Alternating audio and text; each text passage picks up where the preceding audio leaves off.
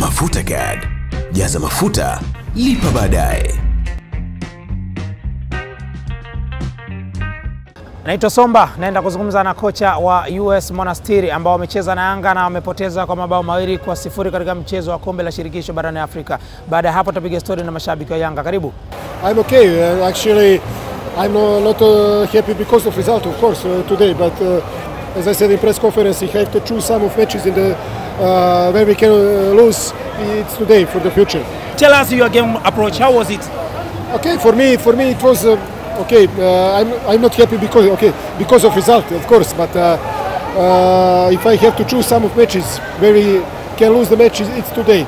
Uh, because uh, that I check uh, many new players. I just change the system in first half because we have to adapt in uh, in more system, not on, only one. Especially because today we miss uh, four or five uh, starting players. What was the threat player of Yanga see to you guys? Uh, of, of course, number nine play good game. Uh, both sides, uh, wingers, uh, fullback, number 13.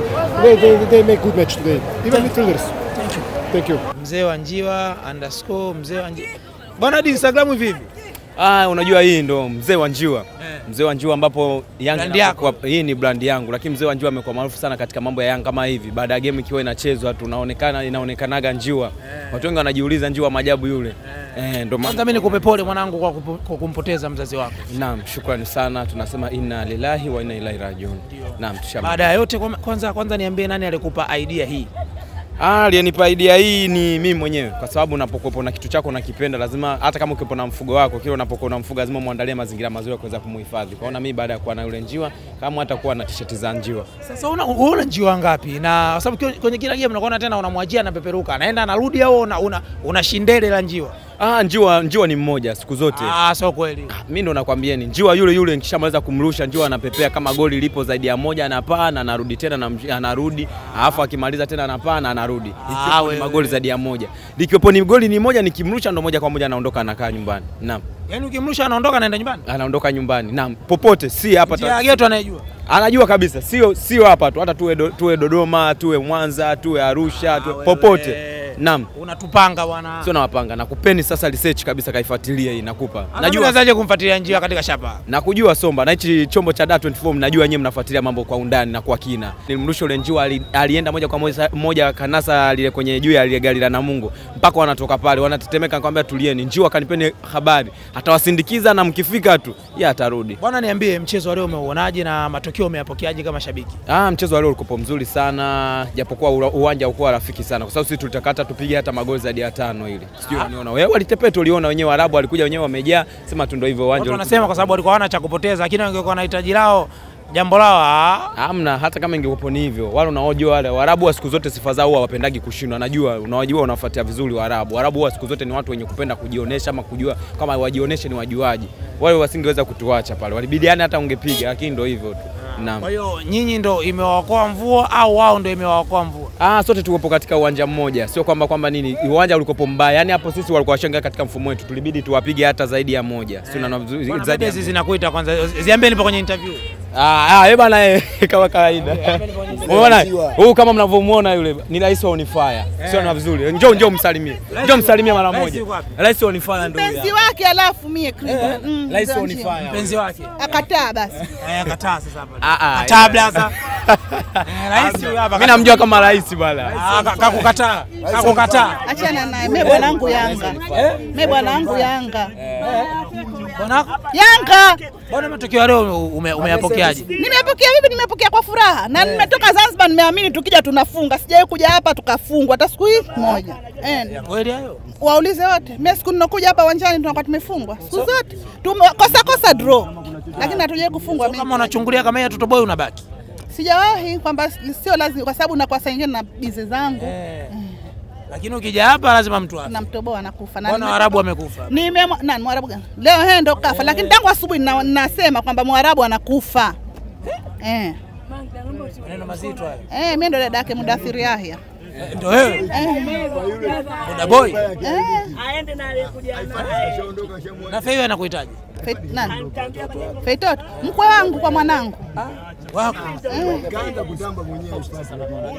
Jirani yangu. Eh, Fei jirani yangu. Nani Baka jirani ni mdogo wangu, sote tunakaa pamoja. Mudathir jirani yangu eh, na Ninja wote ni ndugu zangu. Sasa hii issue ya Fei mna- mna- naye sio mnakutana naye? Nilikutana na mama yake akasema kwamba atakuja, lakini ehe, alivyosema Angekuja kutazama mechi au angekuja kwenye- angerudi? alivyoniambia mie Eh. ehe, lakini sio rahisi Mm. ila aende tu. Ya kweli mama akasema. Na kwa sija kusema uongo, aliniambia nilikutana naye Interview anaiona hiyo unajua. ndio alikutana naye bandarini akanambia anarudi, lakini kipindi hicho ndo nikaja nikaona hii kesi kesi inaendelea, kwa hiyo mimi alinipoteza tu. Eh, Kwa hiyo chenga mwili. eh. Lakini achana na mudathiri. Basi ngoja nikuache. Inshallah. Baby, shemeji yenu mwitani. Baby. Sasa mbona unawakana? Unakata, unakata usinipigie simu. Haina tabu. Tutaongea baadaye hiyo simu tena ya faragha hiyo. Tamzanjiwa bwana, kwa kumalizia bwana, una, una lipi la kuambia mashabiki wenzako, sababu bado mna mchezo mnaenda kucheza na Mazembe ujue. Ndio, ndio. Eh bana, mimi nawezekana ambacho cha kuambia wana Yanga kwamba sasa hivi ndo gari kama limewaka. Mnajua baada ya kitu ni kinachofuata. Yaani sasa hivi baada ya robo hii tulioingia ni mafanikio mbele. Mi na, najua sisi tutakuja kulileta kombe. Yanga ndo naenda kulileta ile kombe. Tayari. Njoo kashaanza utabiri. Mwarabu kafa chali. na sio Mwarabu tu, yoyote atakayekuja saizi anakufa chali. Sio Mwarabu tu, yoyote atakayekuja kwa Yanga hii lazima afe chali. Naenda kwa Mazembe huko. Mazembe ya kawaida, na nilishai kuambiaga kuna siku moja nikwambia, katika kundi letu sisi tutaongoza sisi, sio mwofei Mazembe wala nani. Mimi najihofia mwenyewe Yanga, yaani mpaka inafikia tu najihofia mwenyewe, Watu wanasema Waarabu kama angekuwa anataka jambo lao pasingekalika hapo. na si wenyewe washukuru mvua imenyesha.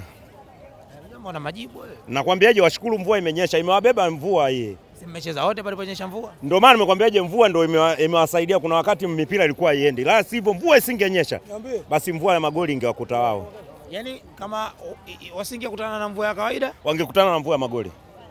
Amini usiamini, Yanga ni taasisi kubwa blaza, piga mahesabu. Azizi Ki ndio mchezaji ya gari anakaa benchi. Eh, umeelewa? profesa Yaani yule sio profesa, yani yule kapitiliza kwenye profesa, yani sijui nimpe cheo gani, umeelewa? Cha pili, yani napenda kuwaasi wa mashabiki wa Yanga. Tuwe tunajitokeza kila mechi kwa wingi, tuje tushangilie. Timu yetu tuisapoti. Ah, bwana, lakini mna mchezo unajua, mnaenda kucheza na Mazembe no. kwa sababu bado haijaisha mpaka ratiba e, ikati. Ndio, Mazembe ni timu nyepesi, tunaenda kuchukua pointi tatu Kongo na tunaongoza ligi Eh? tunaenda kuchukua pointi tatu Kongo na tutaongoza ligi, Bamuto Bakongo tunaenda na ugali na sukari. kwenye nyavu benyewe. Yaani wale sio kukutia kwenye nyavu, watazimia. Yanga ni taasisi kubwa brother, nakuambia, na nilishawahi kuongea, sisi tutaongoza kundi na yoyote tutamfunga, Atakayekaa mbele yoyote yule, hata Man City kama vipi amia upande huu huku tunamfunga. Watu sio wakasema kwamba "Oh, wakati sisi tunacheza na, na, na Raja uwanja ulipelekwa Zanzibar na sisi mechi imeisha tushamtia mtu saba uwanja tunapeleka Bunju. Hivi ulisikia zile kauli kwamba watu wanaondoka na uwanja fanyie mtata yaani kitachowakuta mtasimulia. Hawa dua zao kila siku wanatuombea si mabaya, lakini huwa hayatukuti. Nakwambia ukweli, mechi ya TP Mazembe kuna mshabiki wa Simba pale alituombea dua baya sana, aliwaambia tu, anaomba tufungwe goli saba, sio wewe. Wewe Azam anaitwa Ali Azam sijui nani sijui yule alituomba si tufungwe goli saba hapa. Mechi inayofuata anacheza na TP Mazembe anakufa tatu moja hapa. Eh, kwa hiyo usimwombee mwenzio mabaya. Ah, ni, ni mambo ya heri. Mwenyezi Mungu mwenyewe kapanga mwaka huu Yanga iwe hivi na ndio ilivyokuwa. Nipe tano mwanangu. Bwana Mboto huyu unamwambia nini? Huyu hapa. Huyu mimi ni swaiba yangu, Eh. mechi zao unakuja na yeye mechi zangu anakuja kwa, tunashukuru Mungu. Mimi nimeingia robo fainali na yeye kaingia robo fainali, tumepeperusha bendera ya Tanzania. Kwa hiyo tunamwambia mama kila mechi ambazo zinazokuja mbele azidishe hela hizi, milioni tano kidogo kama ndogo. Alafu mama mama alisema niliona ule utani wenu kwamba wewe Msigwa mwambie refa amalize mpira, mzigo umekata. Mama asema mzigo upo wa kutosha. Umemsikia kwanza mama? Ah, sijamsikia kwa sababu kama kusema labda atakuwa alisema, lakini mimi sija Nasema mzigo upo wa kutosha, nyie pigeni mipira kwenye nyavu bwana. Wewe wewe mwambie wewe upo kwenye mzigo. Mzigo upo, mzigo upo kwa sababu jana yenyewe wakati imeingia goli tatu, Msigu alipigiwa simu na mama, bwana vipi leo uko mbona kama nyingi?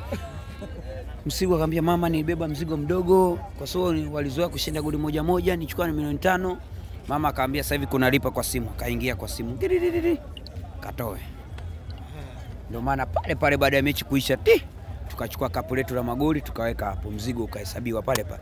Uzuri mama tunampongeza, ila hatua tulioenda sasa hivi mama atuongezee kidogo. Karongo kweli kajamaa karongo sana akajamani karongo sana. Cheki anavyokutazama. kuna akajamani karongo kweli. Na unaona ni binadamu toleo ya mwisho. Kwa sababu yeye anasema eti mama eti anayesema mzigo ni kubwa. Hivi milioni sala sitini na tano inaweza kufilisi mheshimiwa rais kweli wewe unajua eh? Mimi kwanza wakati nilikuwa ni kidogo bado sijakuwa, nilikuwa nasikiliaga rais analala kitanda kubwa kama kiwanja ya mpira. Jamani, toto ni kutoto ni kasi sana, na ndio hiki kitu huyu anasikilia sasa hivi. Nasikia oh, mama ataisiwa, anasema msigo msigwa, akasema msigo ni kubwa, mara ngiri ikaingia kwenye simu. Sisi Yanga ni timu tano ndani ya moja kwanzia tunaanza kushinda mechi zetu tunacheza kwa uhakika. Waona kama ni sisi jana tulikuwa tunafunga kumi. Angalia ile jamaa yao ilichukua kiatu ya dhahabu, inafika pale inaendesha basikeli ndani ya kumi na nane, anaambiwa leta huku, leta huku, haipeleki mpaka yeye inasaka saka pale. Sako hiyo kaitwa timu ya taifa Senegal. Ah, ile kuitwa, kwani si hata hao jamaa wanakuja hapa leo hapa tunawachapa ni jambo, na wamepanda gari ya Morogoro, wanachanganyikiwa, wanapanda Abudi hapa. Muona ile gari yao nyekundu, wanaenda hivi sasa hivi, wanapita Mikese. Unajua Yanga haifananishwi. So unaona jamaa anakula fenesi hapa, anasimama pembeni.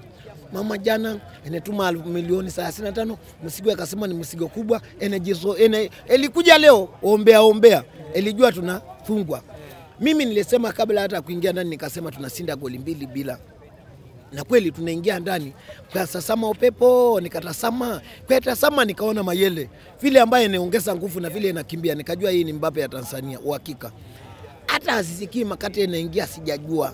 Hata ile mingine hata Moroko inaumia nikuja kuona imelala tu chini sijajua. Sijajua sababu timu kikosi inakamilika ni kikosi moja ndani ya tano. Na sasa hivi wenyewe wanajua tu wanasema oh, sisi tunafunga mingi we ile unafunga mingi makati sisi tunawatanguliza na baiskeli ya miti. Sisi nyuma tunakuja huku. Wenyewe wanaenda sitendi nauli tunaso Tun... eh, ni, ni kama hii ni si, iwe mvua iwe jua. Lakini ninaamini da 24 ni tv ya nguvu na watu mtapata habari mingi sana hapa. Saa kuisikiraibu hiyo maneno kwenye linki ko. Kisikia kengele ujue ni hiyo hiyo. Masai nyota na hata mimi ni kila siku natazama da 24 asante.